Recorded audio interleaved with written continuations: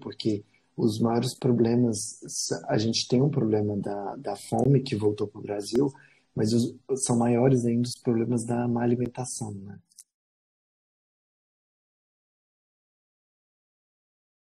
E é muito importante falar essa questão da alimentação, porque os maiores problemas, a gente tem um problema da, da fome que voltou para o Brasil, mas os, são maiores ainda os problemas da má alimentação, né?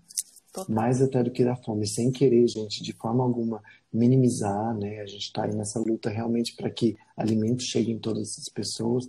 Mas sabe o que eu percebo, Giovana? Às vezes eu acredito que as pessoas, o nosso sistema, ele não quer nem ser capitalista de fato. Porque essa última pesquisa que teve no Brasil, 14% das pessoas no Brasil inteiro tiraram a carne no ano passado e nas capitais chegou a 16%. E a gente não vê essa população sendo atendida. A gente não vê. Essa, essa é uma demanda ainda muito reprimida. É.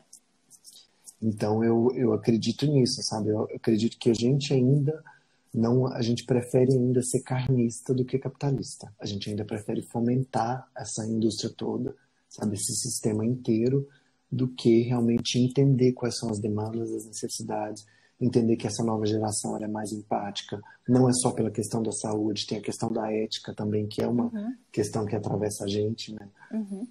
Então tem tudo isso. Eu, eu acredito que a gente ainda não se enxergou, assim como a gente não se enxergou como uma população que é majoritariamente negra, mas uma população que já está aí entendendo é, todas essas opressões, entendendo a violência que tem com os animais, a violência que isso causa no seu próprio corpo, né? E aí você vê uma pessoa gritando pela liberdade de comer carne. Você fala, meu amor, me abraça, porque a gente tá, a gente tá junto. Sim. Mas é engraçado isso, porque assim, essa essa falta de esclarecimento, esse abandono da, da informação, eu diria, né? Porque quando você tem informação, a informação te liberta. Se você sabe que você não precisa comer carne, e se você sabe que você pode é, escolher, que existe escolha, né? Porque acho que o problema é quando você acha que só tem um jeito. Fica muito mais fácil. E você tem um, um sistema que é absolutamente é, permeado por essa lógica capitalista carnista. Que uma está do, uma do lado da outra, né? E racista também. Então você tem essas. Tudo isso dá um pouco as mãos, né? Quando você fala.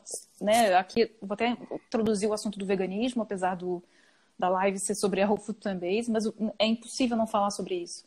Quando você fala de veganismo, você tem que falar de feminismo, você tem que falar de racismo. São coisas que caminham juntas e não tem como você tirar, é, quebrar esse vínculo. Então, a pessoa que só, só fala sobre veganismo, desculpa, precisa se aprofundar um pouquinho mais, porque essas lógicas andam juntas, de mãozinhas dadas.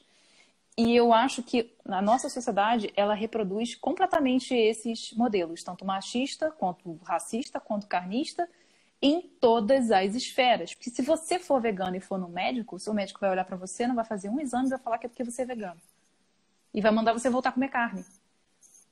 Vai voltar a mandar você botar óleo na sua comida por causa do sei lá o que do ômega. Você fala assim, cara, se você não, não tem o esclarecimento do, por, do porquê não é necessário comer carne, do quanto de ômega você precisa, você vai atender, porque você pensa, ele é um médico, ele sabe mais. Esse médico, infelizmente, assim como todos nós, também tem suas lógicas machistas, também tem suas lógicas racistas e também é carnista. Então é difícil, eu acho muito complicado você é, conversar para uma massa, entre aspas, para a população, sem a informação. E eu acho que é por isso que eu fico assim tão, sabe, tipo, ah, preciso passar informação para as pessoas, para se elas conseguirem ver um, um glimpse, sabe? Uma frestinha de liberdade, é por ali, vai por ali. Que é, e né? não tem volta, né, Giovana? Você palestrou, né, baby? Palestrou. e é super interessante isso, porque todos esses temas, as pessoas acreditam que seja um tubarão, né? Que é um vilão que você vai acabar com ele. Mas, na verdade, ele é a água. Exato. Então, tá todo mundo imerso. Tá né? todo mundo dentro. E quando, você fala dessa intersecção, é super importante a gente falar por isso, que tem tudo a ver com o que a gente está falando, porque existem estudos e, e, pesquisadores que dizem que daqui a 50 anos a gente vai olhar para a indústria da proteína animal como a gente vê o Holocausto. Então eu acho esse ponto de vista super interessante, porque a gente percebe que a gente ainda não está lá, a gente ainda não evoluiu esse debate, mas a gente vai ver a violência e vai a gente já sabe que a gente já enxerga, mas a, a grande população vai entender, né? Enquanto todas essas violências nos atravessam. Porque se a gente não tem. O Brasil é o segundo país do mundo que mais produz alimento. Como que a gente tem uma grande parcela da população passando fome, né? O que que quando a gente fala de segurança alimentar, como Nossa. que o alimento chega? Porque as pessoas, Giovana, a gente já come bem brasileiro em base, porque ele nunca teve dinheiro para ter pedaços gigantes de carne. A gente sabe disso. Então é arroz, feijão, tomate, banana, abobrinha, sabe? Um pedacinho de carne, assim, até para quem come carne, se, se tiver nessa lógica, tá tudo bem, né, Giovana? Claro. Se você tiver essa redução e não tiver esse, esse absurdo que a gente tem hoje, onde a carne é o centro de tudo, e, e né? Mas o que acontece é que você, através dos subsídios do governo, barateia o acesso à carne, você tira o subsídio, você coloca subsídios do governo, transforma aquilo, né? Carne de frango é barato. Ovo na feira, quanto que é? Barato. Então, você populariza essa proteína animal na população e também tira os subsídios, né? Tira os impostos, no caso, aumenta os subsídios para produtos processados. Então, às vezes, é mais barato você comprar, é, sei lá, três biscoitos recheados do que você comprar um quilo de tomate, porque o tomate está alto. Por que está alto? Porque você pega toda a terra, todo o espaço físico para plantar tomate e transforma em soja e milho para alimentar o boi. E são coisas. Nossa, eu quando. quando e tudo é um projeto, né, Giovanna? Tudo é um projeto. entender, porque os outros países, por exemplo, os Estados Unidos, ele compra carne do Brasil, ele não está comprando, é, teoricamente, a carne, ele está comprando água potável que aqui não tem, ele está comprando a terra produtiva que aqui não tem, o trabalho é, degradado que aqui não tem. Sim. Então, a gente está comprando isso, a gente não está comprando carne. O custo ambiental. O custo ambiental, exato. O custo da a água, Europa, né? Que é, o... é a Europa compra carne do Brasil porque, sabe, que eles não eles pensam assim, eu vou destruir a minha floresta, vou matar os meus animais, não, compra carne do, do Brasil porque eles destroem lá e a gente come aqui. Uma vez eu vi uma então, frase se não fosse esse sistema todo, todo mundo teria arroz super barato, feijão super barato, porque um amigo meu que é biólogo, Giovana, ele fala que o Brasil é o único lugar do mundo assim que você deixar semente cair sem querer, brota por conta de todas as condições que a gente tem, né? Eucalipto, ele fala que é oito anos só no Brasil que ele fica adulto, não tem nenhum outro lugar no mundo. Então, e tem essas lógicas e a gente define o acesso para quem que vai os grãos, né? Exato. A gente está fazendo uma política de decisões para quem que vai a, a alimentação, né? É. Isso é. E você vê os, o segundo maior produtor de alimentos do mundo tem uma população ainda passando fome, ou ainda em uma questão, eu, eu chamo de violência, uma violência alimentar, você não, não ter acesso. Você ter desertos alimentares, para mim, é uma violência. Porque você não, não pode se alimentar bem. Você é obrigado a comer aquilo que está sendo oferecido. E você tem, claro, né, isso é muito óbvio também, quando você olha assim, o mapa da fome e você reproduz com o mapa da exportação de, de, de grãos e de carne, você pensa assim, gente, tudo que é produzido no Brasil podia alimentar o Brasil, a África e a Ásia. O que a gente produz do Brasil podia alimentar esses três lugares. Como que você consegue justificar uma coisa dessa? Como é que você privilegia animais que são meramente intermediários numa alimentação e deixa seres humanos passando fome? Então são coisas que eu fico assim, e eu acho que tem que ser falado. Quando você fala de alimentação, é muito incompleto. Se você fica só no carboidrato, proteína, não, não, não. Assim, gente, alimentação tem muito mais coisa para falar. E a Whole Food ainda bem permite isso, porque ela vem com esse rótulo de ser a alimentação perfeita para a humanidade e a melhor para o planeta em, em, matéria de impacto ambiental. É então, é 360, eu... né? Não é, é só 360. sobre não é o seu objetivo da barriga tanquinho, sabe? Gente, aqui, planeta Terra, mundo, futuro, de gerações. E eu acho, às vezes eu olho assim, tem umas pessoas que né, olham pra gente e falam assim, nossa, você é muito radical. E eu não falo, né? Porque eu fico naquela. Mas eu penso assim, gente, seus filhos vão me agradecer tanto por ser tão radical como você tá falando, sabe? Que se, se existe chance deles terem floresta, porque eu como do jeito que eu como. Então, vá lá fazer seu E a gente volta realmente na etimologia da palavra, porque radical é realmente quem altera o que está no status quo, né? Então, se é isso realmente, que essa mudança de perspectiva, essa mudança de paradigma, entender realmente o quanto. Se a gente a gente está num capitalismo compulsório, né, querida? Uhum. Então a gente não tem uma outra escolha. Então, se a gente toma essas decisões e sabe o quanto isso pode afetar, é, é, é, é, o, é o coeficiente mais poderoso que a gente tem, né? De entender isso. E é exatamente assim, a gente empodera é, as, as empresas, a lógica capitalista, a lógica racista, tudo que a gente está vendo, tá vendo que, que faz mal com o nosso dinheiro. Então, quando você escolhe comprar um produto da empresa X, uma, uma peça de carne da empresa X, que você tá, viu no noticiário há um tempo atrás, que emprega mão de obra, sabe, escravocrata, que é racista com os seus próprios funcionários, que não tem uma lógica de trabalho ok, desculpa, mas é isso que você está plantando. É isso que você está incentivando. Você pega o seu dinheiro e fala assim, ok, empresa, você está fazendo isso, mas eu acho bacana você está fazendo isso porque eu não ligo. Então, se você quer um, um mundo diferente, se você quer escolhas diferentes para os seus filhos, para os seus netos, para o seu futuro, você precisa fazer escolhas diferentes hoje. Então, ah, mas é muito caro o produto orgânico, ah, mas é muito caro a carne orgânica. Desculpa, mas ela sempre vai ser se você não começar a mudar. Quer consumir a carne orgânica porque ela é melhor para o planeta, porque ela é feita por, não sei, produtores locais e, enfim, então você diminui a quantidade de carne que você consome e opta, né, uma vez na semana você consumir aquela carne de grande valor. É melhor do que você simplesmente comprar dessas grandes empresas que continuam fazendo uma lógica horrorosa com as pessoas, né? Tanto com, com os trabalhadores quanto com o planeta. Tipo assim, gente, quem é que vai cobrar essa conta depois? Eu duvido que essa conta um dia vai chegar. É importante também, Giovana, você tocou aí no tópico da, dos orgânicos, falar também que os vegetais é melhor você comer eles, mesmo que não sejam orgânicos, é. do que não comer, né? Com Como certeza. a Popper fala, porque eles, que foi uma coisa que você me ensinou até naquele dia no bar, que você está comendo os, os anti... antídotos. Os, é, os, produ os produtos. As substâncias que fazem parte do, do seu pimentão, que não é orgânico, pode até vir com agrotóxico, mas ele também vem com repelente. Ele também vem com o antídoto daquele agrotóxico. E quando que são você os antioxidantes, come, né? Os antioxidantes, tem os fitoquímicos, você tem diversas é, substâncias dentro daquele pimentão que vão lutar contra aqueles agrotóxicos e vão te fazer bem. Quando você opta por não comer legumes porque tem medo dos agrotóxicos, mas come a carne, por uma questão de bioacumulação, a galinha comeu 41 dias de, de milho com agrotóxico e ela não tem antídoto. Não vai ter fitonutrientes dentro da galinha. Então você vai ingerir uma quantidade absurda de agrotóxico dentro daquela carne.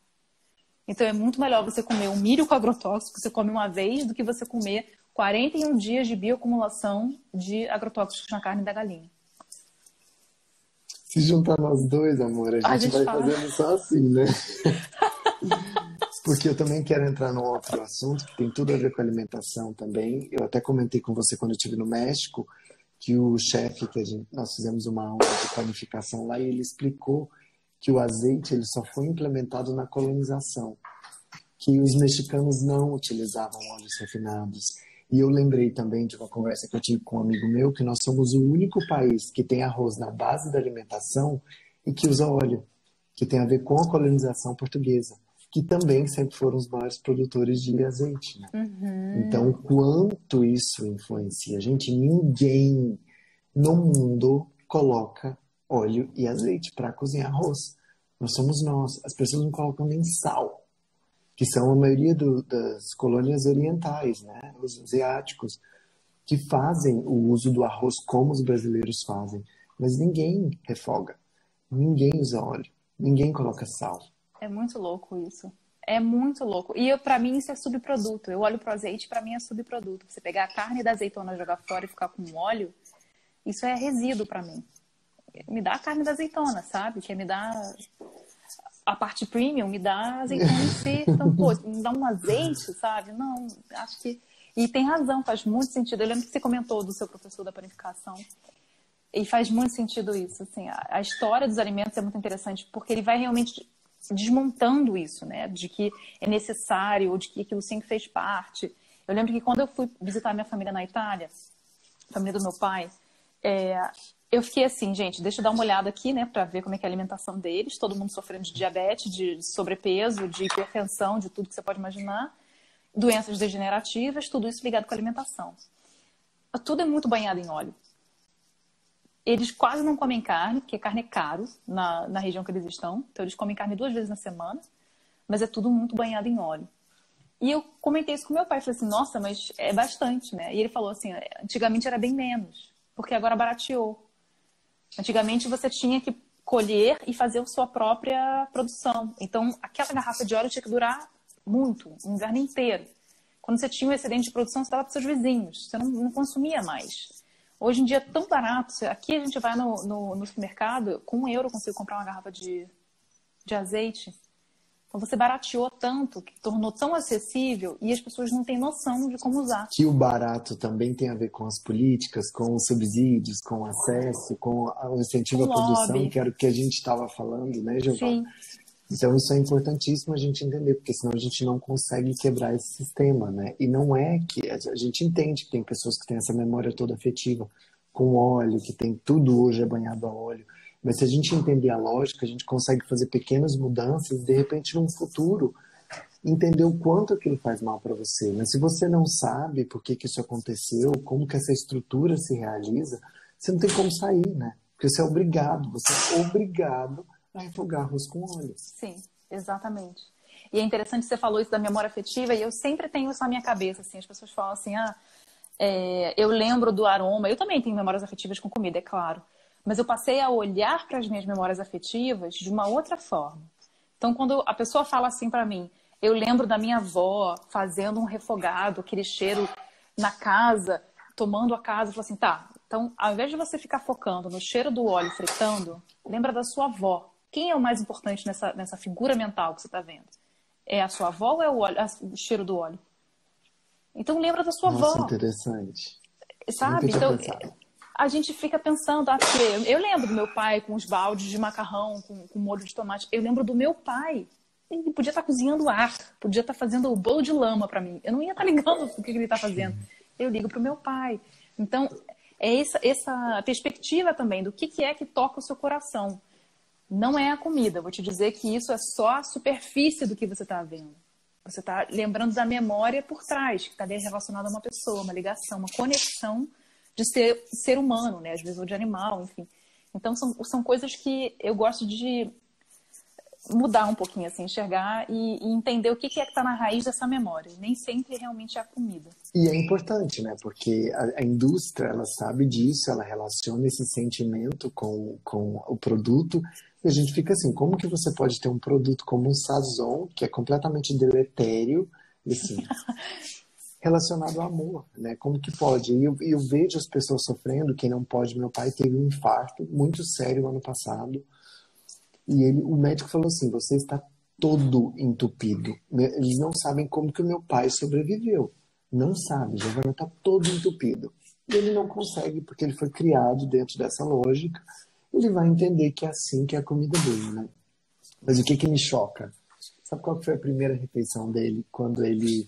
A primeira refeição, arroz com carne moída. Ai. Uma porção imensa de carne moída. Mãe, pelo amor de Deus, pede para tirar a carne, pelo menos agora.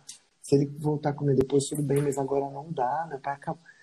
Sabe? Então, assim, quando a gente está falando de sistema, a gente está falando disso. É. A gente está falando da falta de escolha. E também tem outro ponto de vista que eu acho que é interessante. A gente só está provocando as pessoas aqui, né?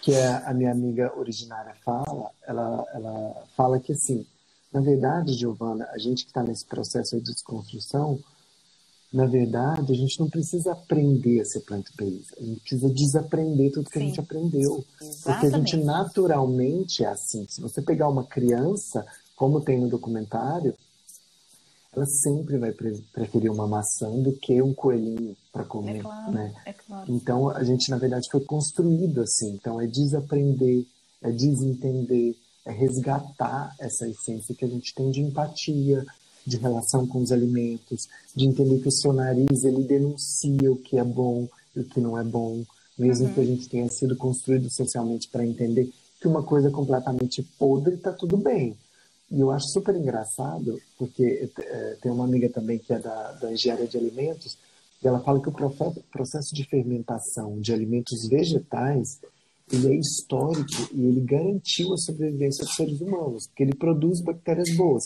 Uhum. Mas assim, você deixou um suco na geladeira, passou três dias, a pessoa não quer comer, não. Mas a carne tem seis meses que está no freezer. Olha o quanto é. Olha o quanto a gente é construído, né, Giovana? Ela fala, se você, ela fala qualquer comida vegetal, se você conservar e não deixar contaminação, ela pode fermentar e virar outra coisa. Sim. Total. Sabe? Com, com bactérias boas. A gente vê o chucrute na Alemanha, porque as pessoas acham que os alemães são gigantes por conta da salsicha. Gente, salsicha está na OMS no mesmo lugar de cigarro. As pessoas são daquele tamanho. Eles falam que até o chucrute foi o que eles fizeram vencer a guerra.